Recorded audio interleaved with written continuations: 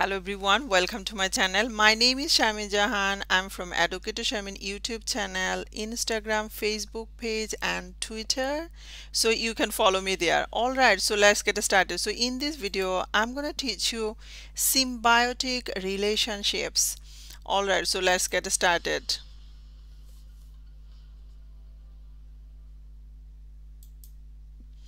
So symbiosis, what do you mean by symbiosis?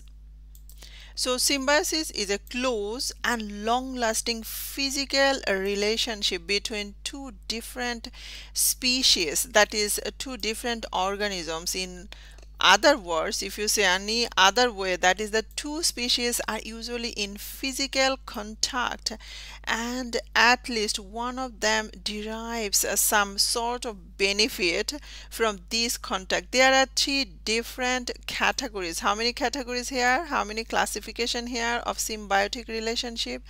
Number one parasitism. Number two that is commensalism and number three that is mutualism. All right so let's go uh, let's go details. So here is a, you can see lots of uh, different type of organism. You can see this is a flea that uh, organism that organism live another organism's body and suck the blood alright so this is a tiny sometimes and sometimes it's very very little. Alright so let's go. So parasitism. Parasitism what do you mean by parasitism? So parasitism is a relationship in which one organism known as the parasite alright so lives in or on another organism. So here is a that is the flea. These organisms live these organism's body and suck the blood and that way that these organisms survive in the world.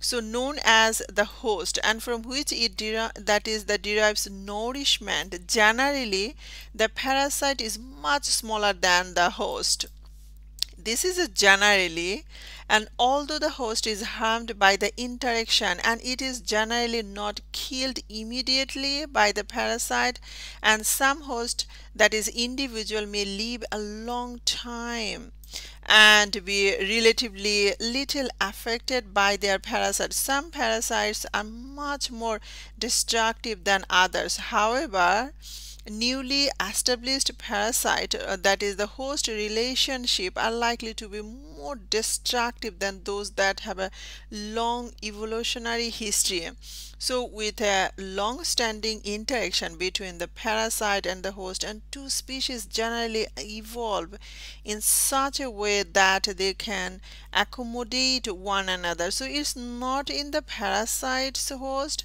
interest to kill its host. So if it does it must find another so likewise the host evolves defenses against the parasites and often reduces the harm done by the parasite to a level the host can tolerate. Alright so let's go next one.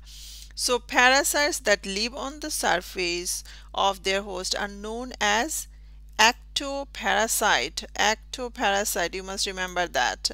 And that is the fleas. So this is a fleas lice very tiny and small uh, some molds and mildews so for example uh, this is an example of ectoparasite and many other parasites such as tapeworms and malaria parasite Many kinds of bacteria and some fungi are called endoparasites. So this is endoparasites because it's live inside inside the body of their host. For example, some malaria you know it, it's live also it survive inside the human body this one also bacteria this is also inside our stomach it's help our digestion this is also helpful and that uh, bacteria survive in our body. A tapeworm lives in the intestines and of its host where it is able to resist be, being digested and makes use of the nutrients in the intestine. Alright, let's go next one. So even plants can be parasites all right so this is uh, it was animal so now we back again this is um this is a plant so mistletoes this is the, you can see here this kind of plants that is the flowering plants that is parasite on trees. So it establishes itself on the surface of a tree when a bird transfers the seed to the tree. So it then grows down into the water conducting tissues on the tree and uses the water and minerals it obtained uh, from these tissues to support its own growth. All right let's go next one.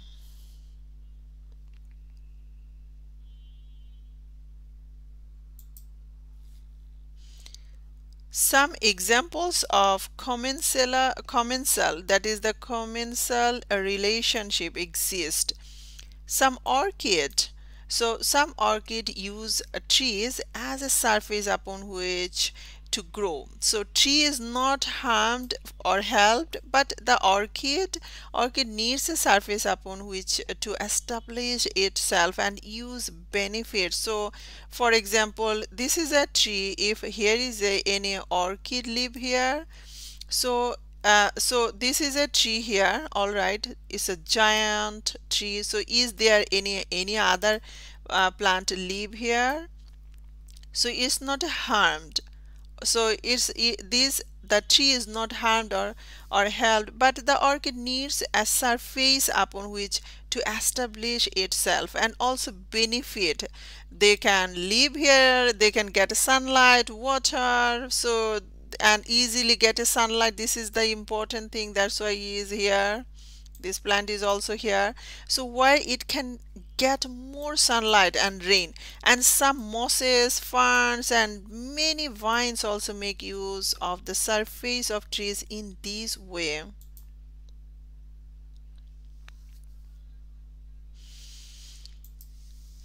Next one that is mutualism so mutualism is another kind of symbiotic relationship. What kind of relationship? Symbiotic and is actually beneficial to both species involved. In many mutualistic relationships, the relationship is obligatory. The species cannot live without each other. In others, the species can exist separately but are more successful when they are involved in a mutualistic relationship. Some species like a acacia so you can see here this is acacia here. So or a thorny tree or provide food in the form of sugar solution in little substance on their stems. Certain species uh, of ant. This is one species feed on the solution and live in the tree which they will protect from other animals by attacking an animal that begins to feed on the tree. So both organisms benefit right? And ants receive food and place to live. Wow this is amazing right? The tree is protected from animals and that would use it as a food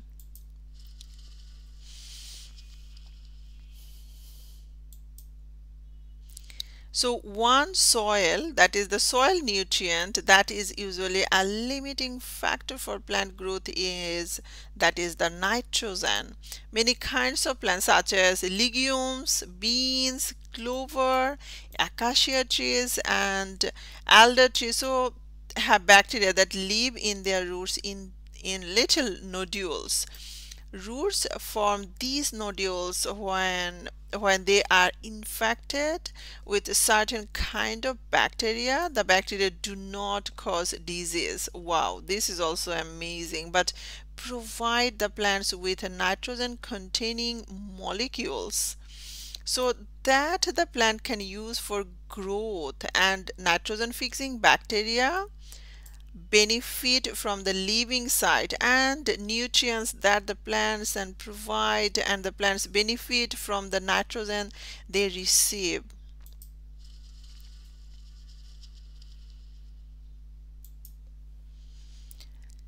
Next one that is commensalism. So commensalism is a relationship between organisms here is also another organisms in which one organism benefits while the other is not affected.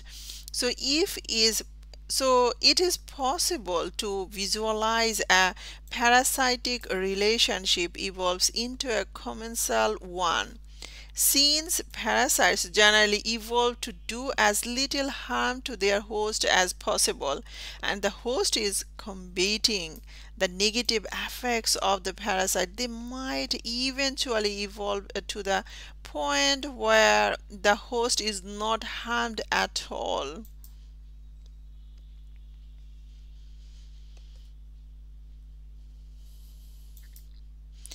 All right so next one that is in the ocean many sharks. All right so here's the sharks have a smaller fish known as remora so here you can see this is a remora here attacked to them. And remoras have a sucker. All right. So this is amazing.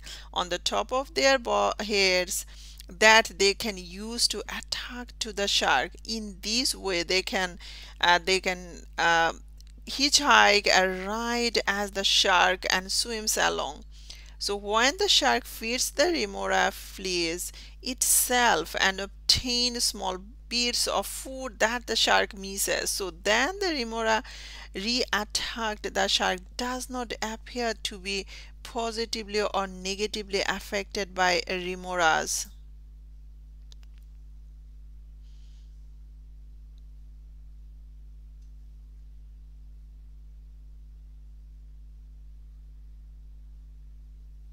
Wow, this is also amazing, right, guys? Here is a lots of remoras. They are attacking. Wow.